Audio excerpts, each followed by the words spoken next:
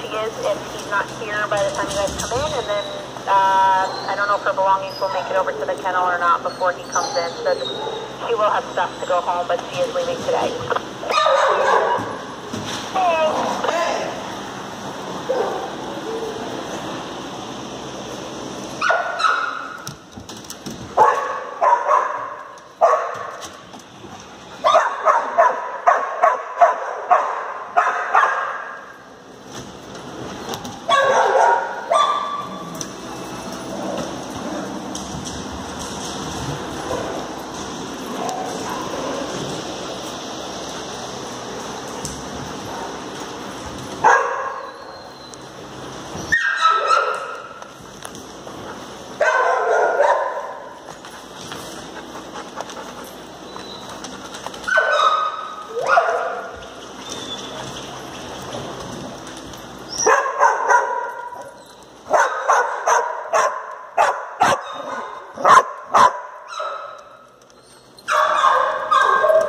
Gracias.